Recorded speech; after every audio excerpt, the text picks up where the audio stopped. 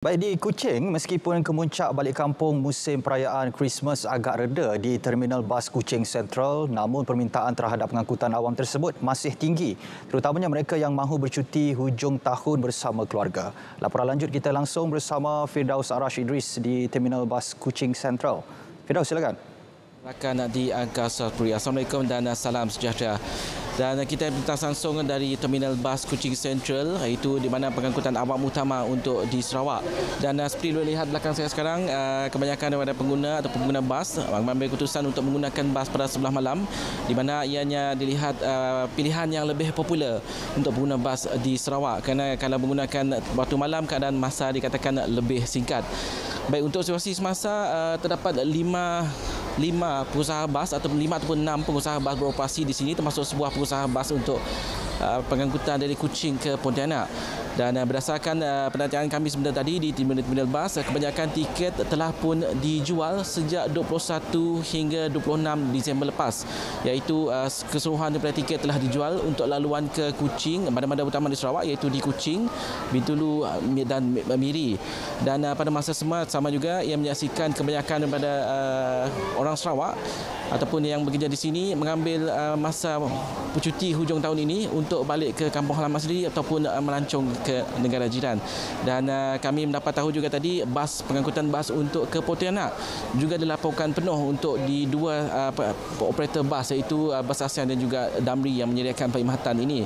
Berikutan uh, penerbangan langsung dari Kuching ke Pontianak belum lagi disambung uh, semula dan ia memberi uh, sambutan kepada pengguna-pengguna bas di mana ia menjadi pilihan utama untuk pengguna di sini. Baik.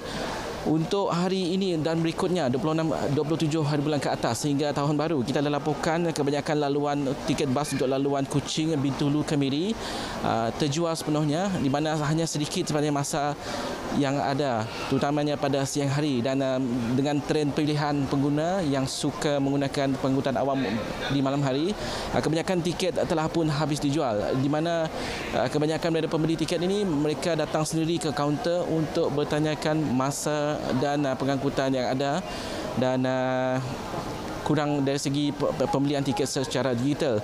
Bagaimanapun uh, kebanyakan daripada laluan ini uh, laluan baru yang baru ditawarkan antaranya laluan Kuching, Kenawit, Kapit dan Song juga uh, turut mendapat sambutan di mana laluan ini merupakan laluan baru yang ditawarkan yang baru saja diumumkan menggunakan jalan utama dan uh, dari kebanyakan yang kami tanya sebentar tadi uh, kebanyakan uh, keluarga mengambil peluang uh, cuti hujung tahun ini untuk kembali ke kampung halaman masing-masing.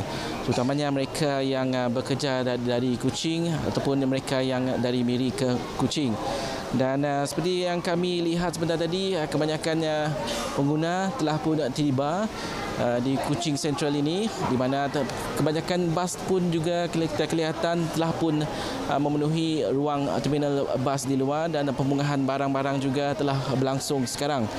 Dan uh, itu saja yang boleh saya kongsikan dari terminal bas Kuching Central untuk perkembangan semasa dalam trafik di Kuching. Untuk itu kita, kembali bersama rakan di Angkasa Puri. Silakan Baik, terima kasih Fidaus langsung dari Kuching Central.